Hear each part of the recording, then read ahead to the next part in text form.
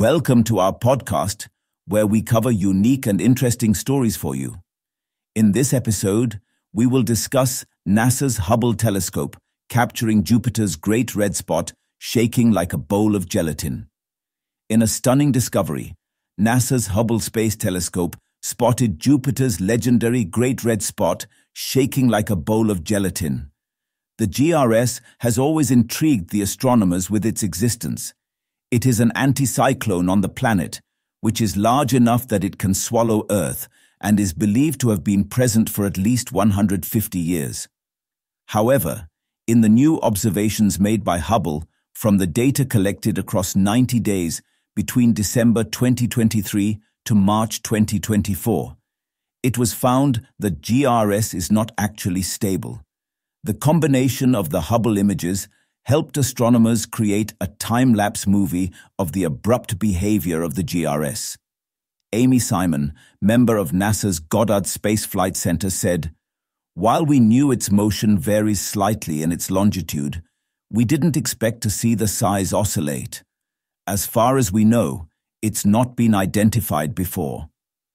He also added, This is really the first time we've had the proper imaging cadence of the GRS.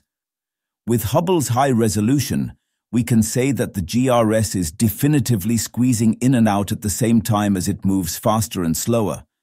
That was very unexpected, and at present, there are no hydrodynamic explanations. The team led by Simon used the Hubble telescope to zoom in on the GRS and get detailed information regarding its size, shape, and any subtle color changes.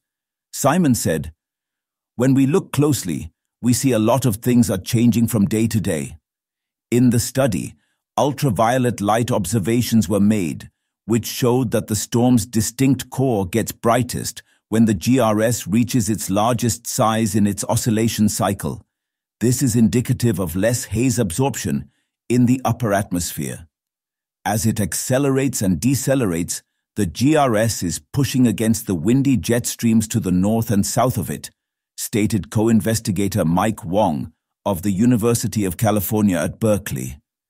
It's similar to a sandwich where the slices of bread are forced to bulge out when there's too much filling in the middle, he added to his statement. Since the OPAL program started 10 years ago, the team has been watching the GRS shrink and has predicted that it will continue shrinking before it takes a stable, less elongated shape. Right now, it's overfilling its latitude band relative to the wind field. Once it shrinks inside that band, the winds will really be holding it in place, Simon said. According to the team, the GRS will most probably get stabilized in size. That's all from this podcast. Thanks for tuning in.